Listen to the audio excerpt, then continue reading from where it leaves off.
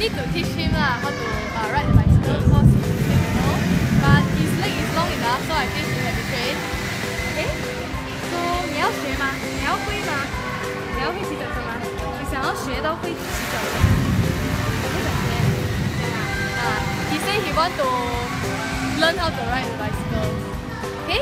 So this week we will try to teach him lah. The next week and we'll.